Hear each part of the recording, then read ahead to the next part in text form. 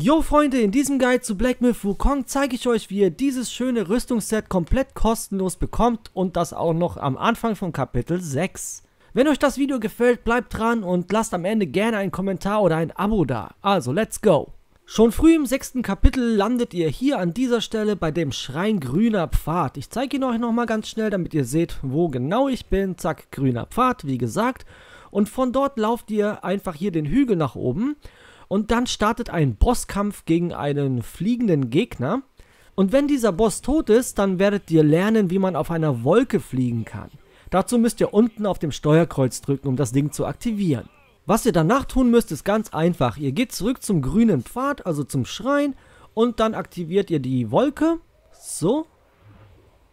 Und dann fliegt ihr hier geradeaus den Hang runter.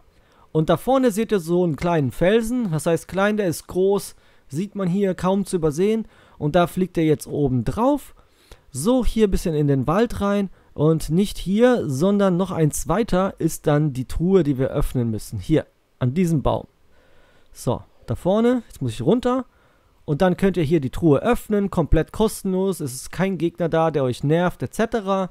Macht sie auf und dann bekommt ihr das komplette Rüstungsset. Hier der Helm, dann die Susi Goldrüstung und dann noch die Beinschützer und die Handschuhe. Ich zeige euch jetzt noch ganz schnell hier die Stats, also was dieses Set kann und es ist komplett auf Verteidigung ausgelegt. Die Itemstufe ist gewöhnlich, aber man kann alles natürlich upgraden und dann wird das richtig cool. Da habt ihr eine sehr schöne Tankrüstung, also mit sehr viel Verteidigung. Ja, ich wollte euch zeigen, wie ihr kostenlos an dieses Teil rankommt, weil es macht auf jeden Fall Sinn, das anzuziehen und abzugraden.